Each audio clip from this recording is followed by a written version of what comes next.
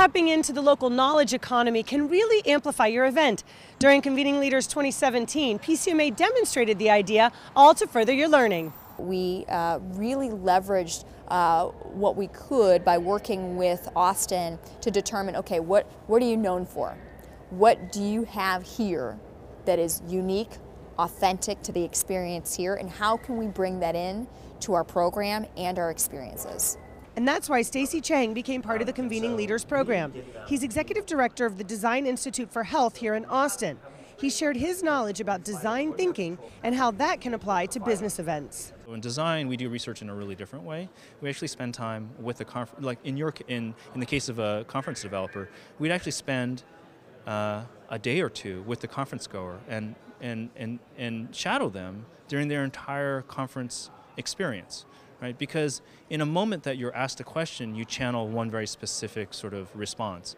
But across the entire experience, you might actually learn a lot more about what that conference goer values about the venue or how they decide whether they go to one session or another or when they decide to take a break, right? I can tell you when I go to a conference, I almost always skip the session after lunch because I know I'm just going to fall asleep in it. Instead, I go find something interesting in the city that I'm visiting to go discover that.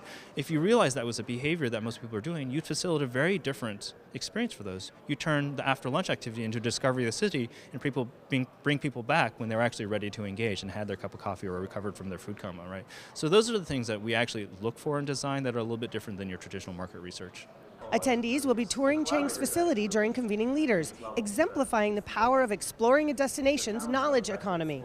Getting a tour is much more valuable than hearing the dean of the medical stand up uh, and, and talk about what's interesting because it's in the nuance of how that school is designed and interactions you see between people and the way they facilitate them where the, actually a lot of the learning happens. And so, you know, again in design, we actually put a lot of value in seeing the context for how things develop because, you know, you can take the the bullet point takeaways from any presentation and apply them. But those were developed in very unique circumstances around very unique needs. And if you don't understand that context, then you'll have missed the point. Or you might miss an opportunity to actually evolve those to, uh, to a, an approach that works better for you. You can access the knowledge economy of your next destination by working closely with the CVB. Come armed with a vision of the experiences and customization you want to create for your attendees.